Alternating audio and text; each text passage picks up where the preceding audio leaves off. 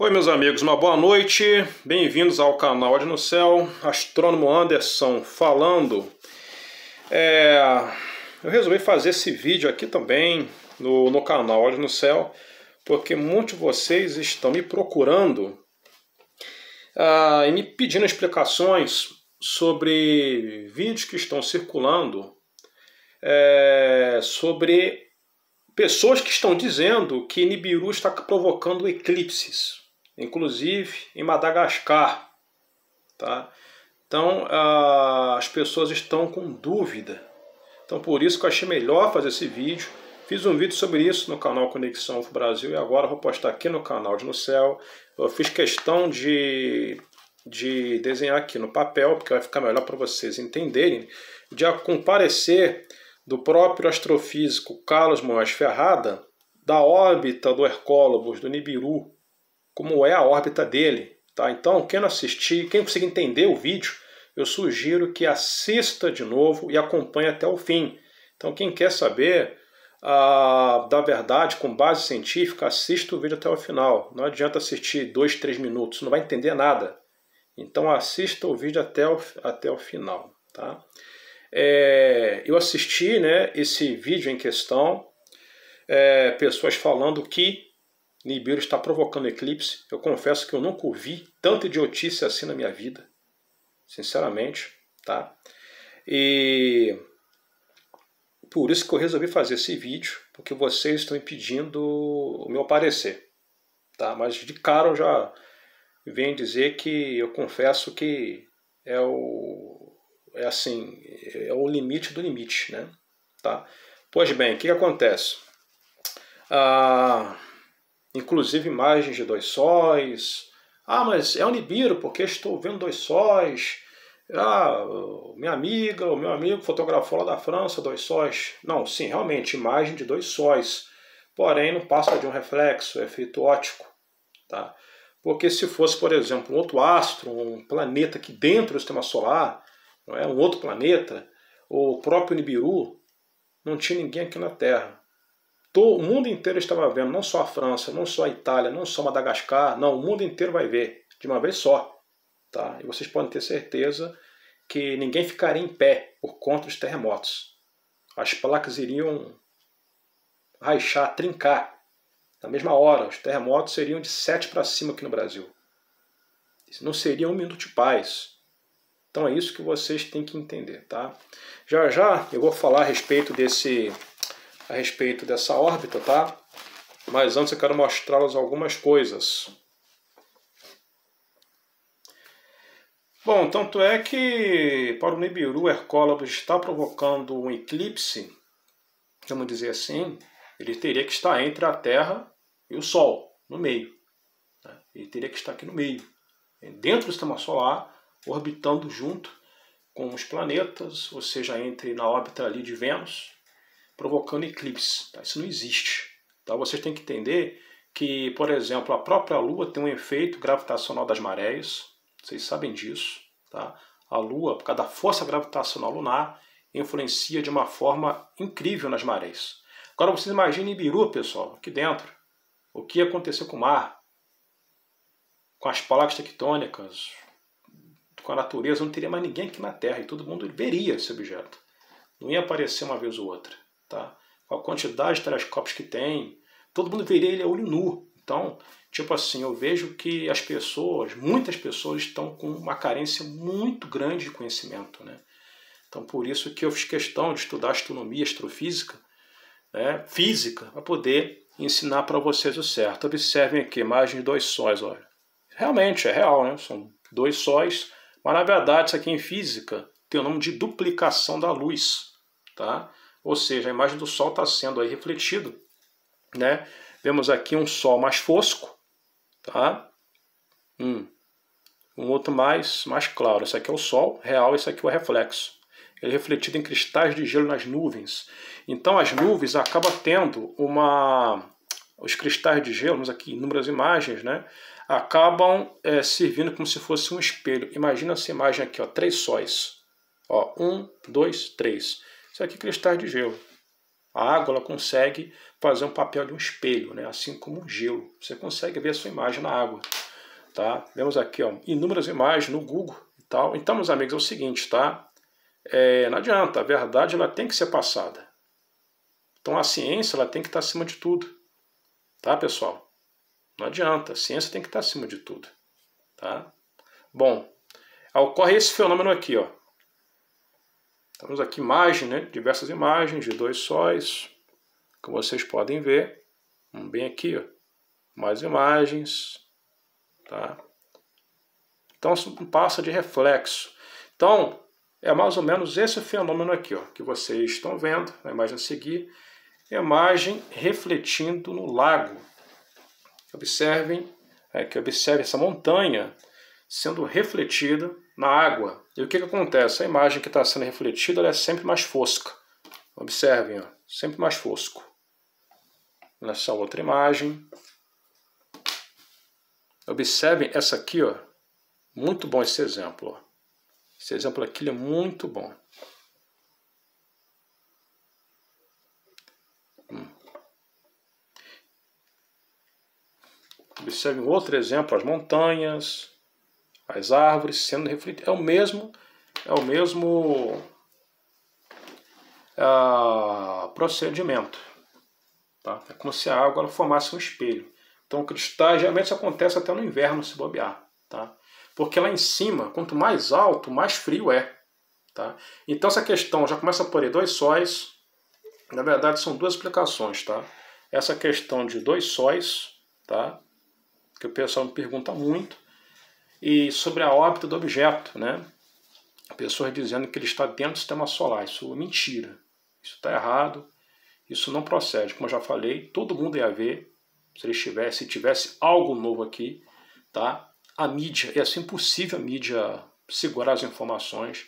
Todo mundo ia ver olho nu esse objeto.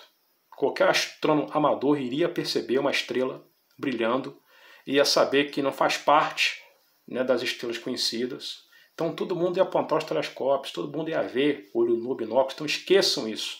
Nibiru não está no sistema, dentro do sistema solar. Né? Então o que, está, o que está sendo falado é que o Nibiru está provocando eclipses. Tá? Eu desenhei essas três, essas três órbitas de Mercúrio, né? Vênus, Terra, desenhei aqui a Lua também. Bom, os eclipses nós sabemos que, por exemplo, o eclipse é, solar é por causa da Lua, vamos dizer assim, né? A Lua ela fica entre a Terra e o Sol, ela alinha com, com o plano da eclíptica e acaba é, é, obstruindo a luz do Sol, formando diversos tipos de eclipse, né? E quando a Lua ela está bem aqui, aí temos o eclipse lunar, é onde a Terra ela fica no meio, ela obstrui a luz do Sol né? não, é, não permitindo que a luz do Sol chegue até a Lua. Aí temos o eclipse lunar. Né? Então, o que está sendo dito? Que o Nibiru está orbitando aqui dentro do sistema solar interior, ao redor do Sol. Né? Eu não vou nem rir porque é uma coisa muito triste. Né? E aí o que acontece? E ele está inter... fazendo eclipses, tá? Aí é... no lugar da Lua. Então, é claro que isso aí não procede. Porque se o Sol também estivesse né, nessa pista é, formando eclipse, é, inclusive formando eclipses, não é? Ah, todo mundo veria. Ele está aí o tempo todo, claro, assim como nós vemos Mercúrio, Vênus, Marte, não é? Todos nós estaríamos vendo, tá ok? Então isso é uma coisa que, que não faz sentido. E sem contar também que a Terra teria sido jogada fora de órbita há muito tempo e essas coisas, né? Então observem aqui a órbita do objeto, de acordo com o próprio astrofísico Carlos Mons Ferrada, tá? um homem muito respeitado, tá? um doutor, senhor doutor astrofísico chileno, Carlos Mons Ferrada, conhecido no mundo todo, tá? uma pessoa renomada. Então eu vou expor um trecho do vídeo. Tá? Então, Nibiru ele vem até o sistema solar, ele entra no nosso sistema solar porque ele é trazido pelo sistema Nêmesis, tá? que é uma outra estrela, que é uma estrela de massa maior, Nêmesis, que também tem o seu sistema, até mesmo os livros espíritas, eu acho intrusos, por incrível que pareça, chamavam esse objeto de Tila. Tá? Quem conhece Ramatiz, coloca nos comentários. Rabolu, coloca nos comentários. Ele, Tila vem trazendo planetas, asteroides e o próprio Nibiru. Tá? Quando Tila se aproxima do nosso sistema solar, provavelmente eu que fiz esse desenho, tá? essa órbita. Né? É, inclusive eu vou deixar esse desenho em comunidades para vocês entenderem e também no nosso Instagram. Então, quando Tila se aproxima, Nibiru é atraído pelo nosso Sol, porque o nosso Sol e Tila faz o movimento, já expliquei isso várias vezes, em que eles se aproximam se afastam de tempos em tempos. Quando Tila, ou Nêmesis, ou sistema Nêmesis, para vocês verem até o cara do bigode, o Adolf, ele já sabia da existência do Sol Negro. Tá? Carlos Ferrada já fala do Sol Negro, inclusive. Então, quando Tila, Nêmesis ou Taishi se aproxima do sistema solar, o nosso sistema solar atrai o astro visitante, atrai o astro intruso. Tá? E o que acontece? O objeto ele se, forma, ele se movimenta como um cometa vermelho. E aí ele vem atingindo uma velocidade incrível. Quando ele vem se aproximando do nosso sistema solar, aí o planeta Terra e todo o sistema solar já começa a sentir os efeitos, inclusive o nosso Sol.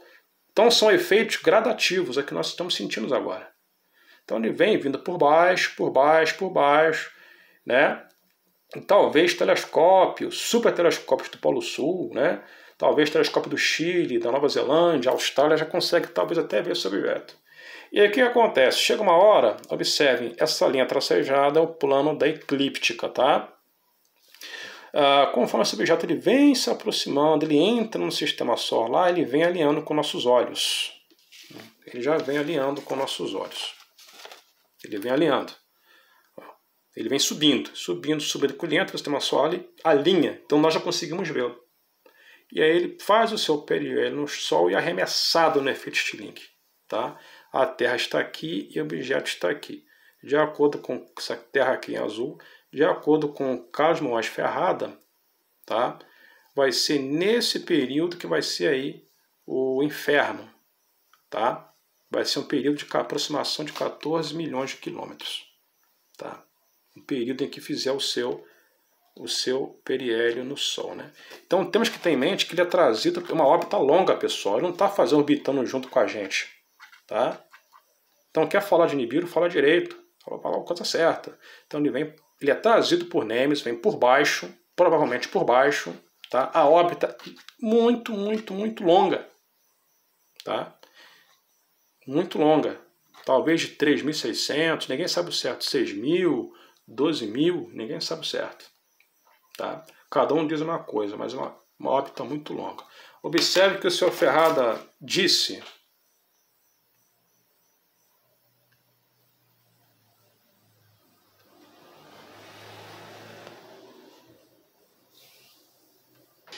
Desde 14 millones de kilómetros. 14 millones de kilómetros.